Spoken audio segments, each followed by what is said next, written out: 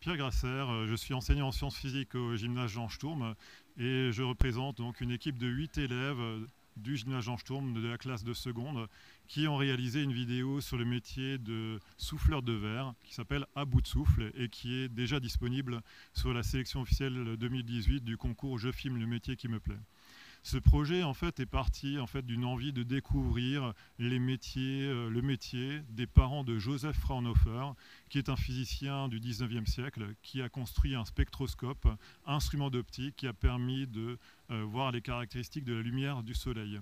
Et une de nos élèves est en fait une descendante de Joseph Fraunhofer. Donc ce métier nous a conduit à la verrie de Meisenthal, où nous avons pu découvrir euh, bah, la magie de Noël et de la fabrication des boules de Noël, dont la dernière boule en question, la boule Rotor. Euh, suite à ce projet, bah, nous communiquons dessus et nous avons réalisé un petit pitch vidéo qui nous a permis d'être sélectionnés au Carnaval du numérique qui se déroule euh, aujourd'hui même à Paris le mercredi 21 mars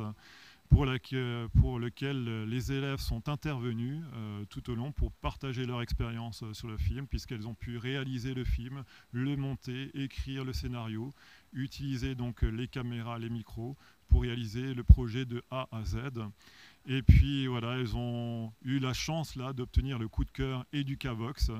Et là, effectivement, c'était une totale surprise pour elles. Elles sont vraiment très enthousiastes.